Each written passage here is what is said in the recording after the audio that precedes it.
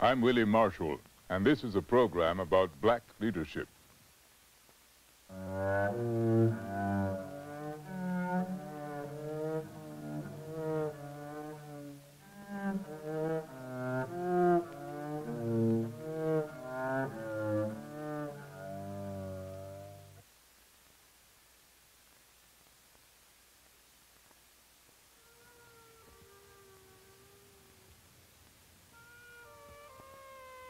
When immigrants came to American shores to find a new home, they came freely.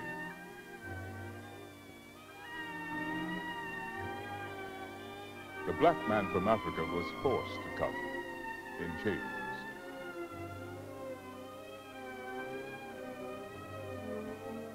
For over a century now, he has been a citizen. Yet, in many ways, he is still homeless, still spiritually adrift between a noble dream and his racial motherland. W.E.B. Du Bois said it best, one ever feels his two-ness, an American, a Negro. Two souls, two warring ideals in one dark body.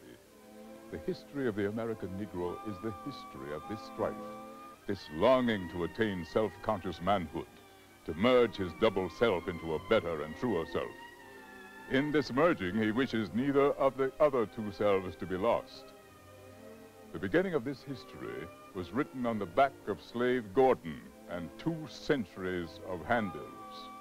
Gordon and Emily and Martha were eventually freed, but not without a civil war over their color, their slave labor, and the kind of country this would be. The Civil War may have saved the Union, but the American black was left still feeling black without feeling American. A divided person demanding that he be allowed to feel both black and American. We're still working at it. But three early leaders gave us a start in trying to reach that sense of oneness. Booker T. Washington, a practical, patient man, W.E.B. Du Bois, a searching intellectual, and Marcus Garvey, a Jamaican visionary. Booker T. Washington, born on the dirt floor of a slave cabin in Hales Ford, Virginia, was nine years old when the Civil War ended. Sixteen years later, on Independence Day, July 4, 1881, he stood in a shanty on the grounds of the African Methodist Episcopal Church in Tuskegee, Alabama, and opened a school that would prove to be a guide to racial progress for Afro-Americans during the next 40 years. And the brick would be its symbol. The brick, because it was simple, solid, and you could build things with it, one step at a time. It was the simple things Washington later remembered that marked his way to Tuskegee, stamped with numerals that he memorized, then practiced in the dust with his fingers. The young black whom he saw in a public square reading a newspaper aloud to people unable to read for themselves. Viola Ruffner, wife of a Union general, whose strict ideas about thrift and cleanliness became his creed when he worked for her as a servant. And the dark West Virginia coal mines, where he first heard of a school 500 miles away that could teach blacks how to make a thing as well as any white man. Washington went to Hampton Institute, a vocational school in Virginia, whose strong and disciplined director, Samuel Chapman Armstrong, trained young blacks in manual skills while commending them to the moral, educational, and practical value of self-help and hard work. Young as he was, life in the South had taught Washington that if a man had land, he had the means to power and respect. If, Washington reasoned, a black man had the skills to make money, he too would have the means. When he graduated and stepped into that first rundown Tuskegee classroom, Hampton was his model for that vision of the future. But for now, bricks and self-help, literally from the ground up. Tuskegee students dug raw clay from the Alabama soil, fired it themselves in the campus brickyard, and turned it into school buildings where they learned useful trades. And in an atmosphere of non-denominational religious observance, disciplined study, and rigorous work, young blacks learned the virtues of self-help, personal grooming, and Christian morality. Such ideals were dear to 19th century America and offered no threat to white society. What was seen as a threat, however, especially in the South after the Civil War, was the sight of ex-slaves walking around in freedom and dropping votes into ballot boxes. Even before Tuskegee opened its doors, both sides of the Mason-Dixon line were using legal maneuvers, outright fraud, and violence to keep the black poor isolated from white life and politically weak. Mindful of this climate and convinced that Tuskegee would fail without white goodwill and northern industrial money, Washington seemed to turn a deaf ear and a blind eye to racial injustice and focused instead on the economic promise of his way rather than the civil or social rights of blacks. In a five-minute speech given before a biracial audience, at the opening of the 1895 Atlanta Exposition, he condensed his view of race relations in a striking image. In all things that are purely social, we can be as separate as the fingers, yet as one as the hand in all things essential to mutual progress. The speech brought him instant fame.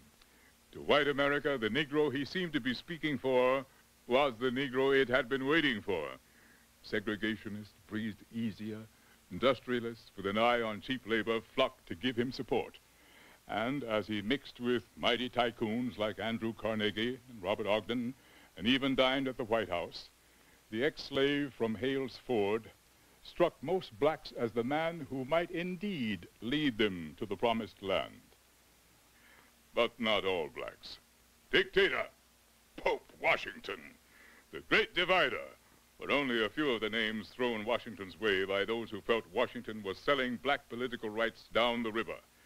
Boston was their main stronghold, and William Monroe Trotter, editor of the Boston Guardian, their most militant watchdog. Outraged by Washington's tolerance of lynchings, he stood on a chair in a Boston church and shouted Washington down with the cry, Are the rope and the torch the only thing the race is to get under your leadership? His arrest for provoking the riot that followed brought a new leader to the surface. Up till then, W.E.B. Du Bois had been of two minds about Washington, but Trotter's militance, purity of motives, and jailing finally pushed Du Bois off the fence. Born in Great Barrington, Massachusetts, to one of its oldest families, as a youngster he suffered little of the extreme poverty and rabid discrimination that blacks in the South took for granted.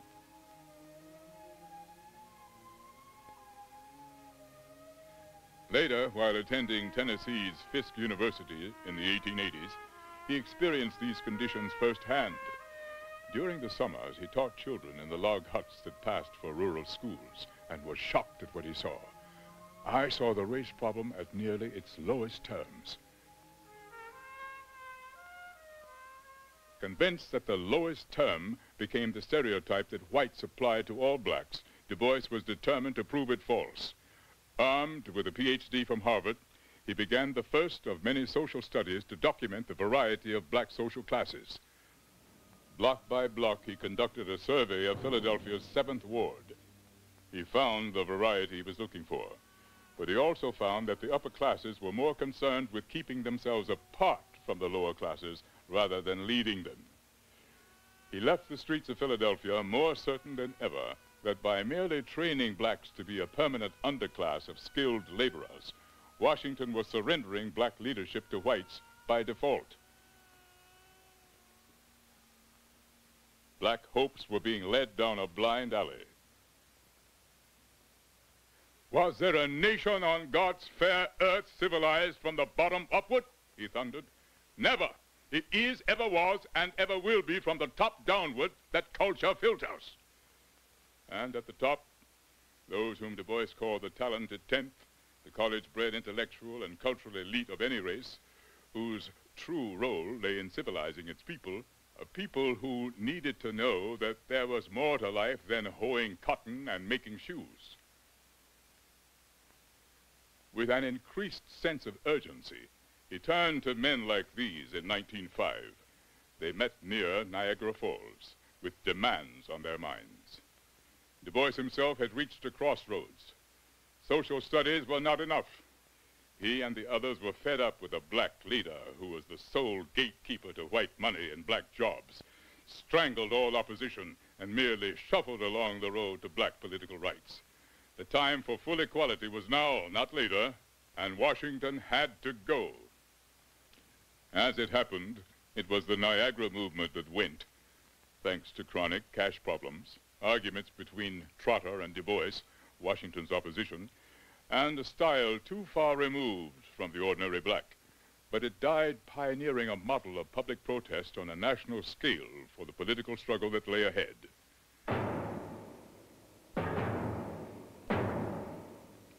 Violence soon fathered a more lasting group. In Springfield, Illinois, troops and onlookers surveyed the results of a riot that broke out on August 14, 1908. Two days of white mobs raging through the city's black district ended with two blacks hanged from a dead tree, four whites murdered, and 2,000 blacks looking for shelter elsewhere. This was a riot in the very city where Lincoln lay buried. White liberals were shocked and the National Association for the Advancement of Colored People was born. The NAACP picked up the banner of direct public protest and marched on with the avowed aim of equal rights and total integration. But Du Bois, director of research and the only black man at the top, as often as not found himself marching to the beat of his own drum, sometimes in the direction of racial identity, at other times toward achieving a sense of American unity. This, the Association's magazine and the brainchild of Du Bois, its editor, would record the tensions that these two ideals exerted on him in particular and black Americans in general. When America entered World War I, for example, black soldiers needed black officers. To prove that blacks could lead, Du Bois pushed for an all-black officer training school and was promptly accused by many blacks of denying the very integration he was supposed to be fighting for. The attack pressed a nerve that ran directly to the divided feelings of blacks split over how to be both black and American at the same time. Summing up the dilemma and the name-calling it provoked, he lashed out at his critics. If we organize separately for anything, Jim Crow. If we organize with white people, traitors. If unable to get the whole loaf, we seize half to ward off starvation, compromise. If we let the half loaf go and starve, why don't you do something? Where in heaven's name, he cried, do we Negroes stand? At any given time, Du Bois himself stood where he thought he and the race could best handle the dilemma. In the training school incident, he had stressed separateness and black identity. A year later, with America in a world conflict, he asked blacks to forget their grievances and close ranks with whites in the fight for democracy. The radicals, especially Trotter, were not so overcome with feelings of patriotism or so forgiving and caustically observed that they would just as soon remember their grievances and fight for democracy in Georgia. When the war ended, the Paris Peace Conference divided the spoils. Du Bois, sent by the association as an observer, went to Versailles with Africa on his mind. Nations on both sides of the table had governed colonies in the dark continent for over a century. And with the old order breaking up, blacks worldwide seized the moment to lobby the conference for an Africa free of colonial rule. Nothing came of it, but Du Bois renewed his own interest in the belief that all people of African descent should unite for their freedom. He revived the Pan-African movement and promoted it in the crisis. He was not telling American blacks to return to Africa, but association leaders drew back. They wanted freedom for the colonies, but feared that the separatist and nationalistic cast of Pan-Africanism would undermine black integration into American life. Pan-Africanism never really got off the ground in America. Among other reasons, most Afro-Americans saw themselves as more American than African, and the black public in general confused it with a different crusade for racial pride mounted by Marcus Garvey. That blacks paradoxically shied away from Pan-Africanism while following Garvey was both a sign of the times and a tribute to the gifts of a remarkable man. He was not an American, but a Jamaican of pure-blooded African descent, as different from Washington and Du Bois in temperament and style as they were from each other. Seventeen years old and a journeyman printer, Garvey left the peace of his village at St. Ann's Bay for the excitement of the British colony's capital, a port city with a lively mix of English aristocrats, middle-class mulattoes, and black purebloods like Garvey. Kingston, Jamaica was a natural breeding ground for political harangues and street corner debates. They fascinated the boy and became his training ground for a style of oratory that would one day capture millions. Black working conditions thrust him in the direction of local reform. But when he sailed from Kingston in 1912 at 23 to raise money elsewhere for Jamaican reform, he hardly suspected that he was starting a restless and often bitter journey to fight for blacks thousands of miles away. From South American banana plantations to the half-finished Panama Canal, he found the same story.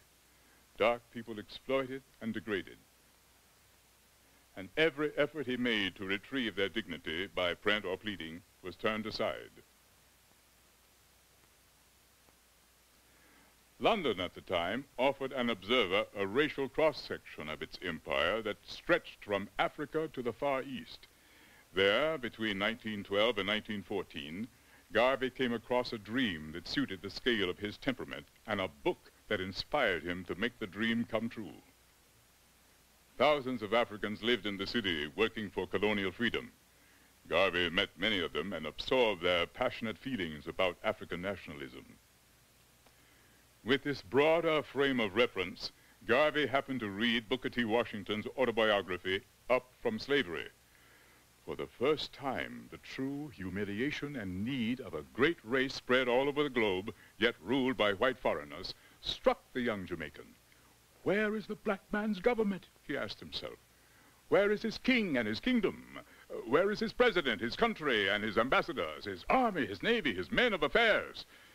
Then and there he vowed, I will help to make them. Back again in Jamaica, and afire with a sense of mission, he founded a Jamaican version of Tuskegee, Universal Negro Improvement Association, or UNIA, but it didn't catch on. With Washington's example of self-help and his access to money in mind, Garvey turned to America. But by March 1916, when Garvey's boat docked in New York, Booker T. Washington had been dead for four months. No matter, Garvey, clearly knowing why he had come, carried a message that Afro-Americans would soon be ready for. Europe was deep in World War I. When America joined the fight a year later, black men entered the armed forces and left for France. This was a world conflict and the perfect opportunity for making a dramatic claim to equal rights. The Texas Grand Master of the Negro Masons declared, we believe that our second emancipation will be the outcome of this war. What they got instead were segregated regiments, talented men wasted in labor battalions, warnings against mixing with the French people, and reminders that they shouldn't expect at home the freedom they had grown used to abroad. When they did come home, Fifth Avenue welcomed them, and Harlem celebrated. but white Americans in general met them not with gratitude, but with fear. Meanwhile, the stigma of race was dealing black faith in vocational training a serious blow. Southern blacks who had moved north for industrial jobs found themselves the first to be fired when peace came.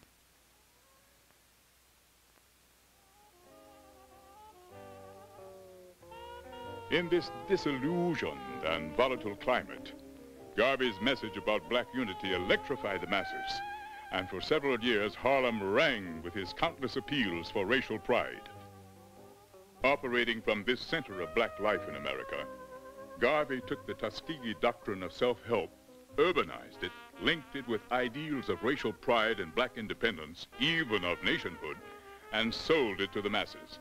By 1920, thousands had come under the spell of his personality, oratory, and vision. As a first step to his dream of a self-contained, independent black world of producers and consumers, to put money into black pockets instead of white pockets, he set up the Negro Factories Corporation to give loans and technical help to small business.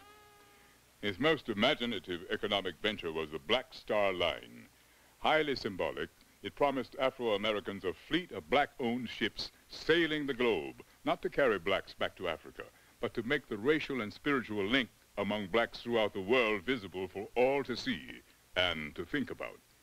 The ships Garvey managed to get afloat worked as a potent symbol of black pride and racial unity until the whole enterprise sank under the weight of leaky boilers, defective parts, and disputed stock operations that would finally contribute to his downfall. Meanwhile, making the most of symbols, he draped himself and his movement in the trappings of nationhood, complete with a national flag and anthem, as all kinds of UNIA auxiliary units and Garvey himself paraded through the streets of Harlem. To the masses, all this was heady to a man like Du Bois, it was theatrical nonsense. Yet he could not but admire Garvey's common touch and breadth of vision. Ignoring the pageantry, Du Bois hoped for Garvey's cooperation. While he believed in working with whites, and Garvey did not, Du Bois felt that the Garvey movement dovetailed with his own recent work for racial pride, namely Pan-Africanism and his support of a distinctly black artistic culture then emerging in Harlem.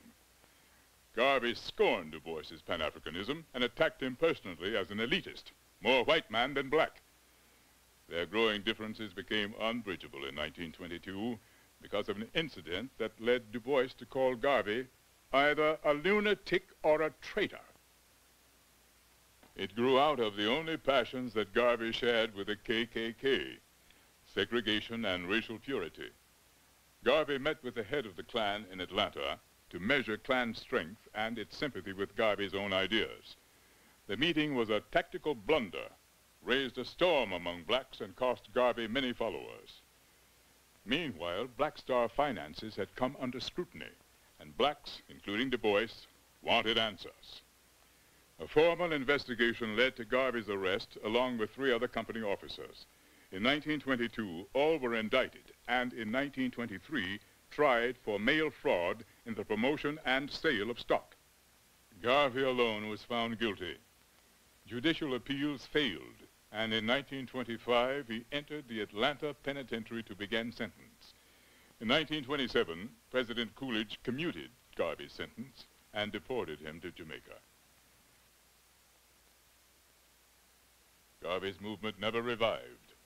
When he died in London in 1940, the UNIA was little more than a name.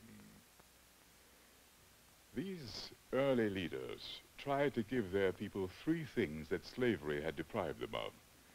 Economic independence, self-esteem as a race, and some control over their daily lives. Different as they were as leaders, if they struggled with each other they struggled not over these goals, but how to reach them. In Washington's case, he looked at his people whom slavery had turned into field hands, took the measure of Southern white power, and calculated the odds. Given the times, he was probably right in choosing the half a loaf of economic progress. But his compromise should not have included silence in the face of lynchings and the spread of Jim Crow, nor the suffocation of all black dissent through spying, intimidation, and bribery of the black press. He did finance court cases to challenge segregation, but as secretly as he could.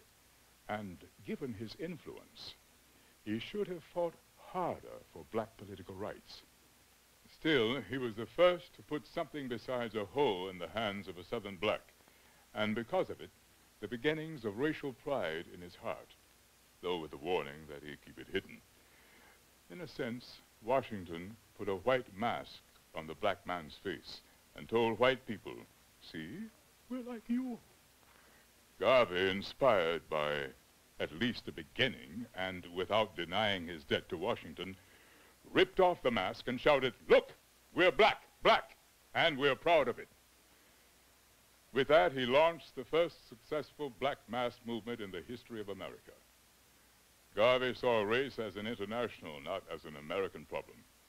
His real goal was not to empty America of its blacks, but to found a black nation in Africa similar to the present Israeli homeland for Jews, with enough economic and political power to influence racial conditions in this country.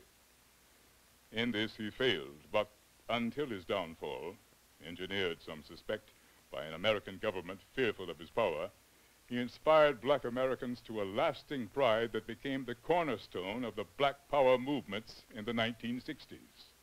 The activism for black civil rights in those years was fed by the tradition of racial protest pioneered by Du Bois and the Niagara movement. If Du Bois did not command a following or leave behind phrases like Tuskegee or Garveyism to know him by, it is because labels could never contain the complexity of his search for a solution. Constant and unrelenting, that search led him to Marxism and self-imposed exile in Ghana, where he died in 1963, still fighting at nearly a 100. For the complete liberation of all blacks, both in America and in Africa. At that very moment, across the Atlantic, half a million Americans gathered around the Lincoln Memorial in a great civil rights march on Washington. Black pride, vocational training, higher education, and public dissent. In the end, the battle among these black leaders over these different paths to the same dream finally led here, where the descendants of ex-slaves now stood by the thousands, their lives forever transformed. Men and women, black and proud to be so, educated and skilled as any citizen, and joined by thousands of other Americans in an historic protest for total equality, an equality that must surely come.